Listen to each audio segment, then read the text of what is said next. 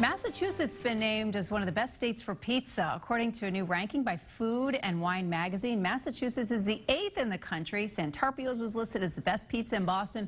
Other notable shops were Galleria Umberto in the North End, Regina Pizzeria, George's Pizza House in Harwichport, Lynwood Cafe in Randolph, Tripoli's in Lawrence, and Christie's Pizza in Salisbury. On the national scale, New Jersey was named number one for pizza. Connecticut came in second. I mean, if I'm New York, I'm just not happy about this at all. I love that New York got snubbed.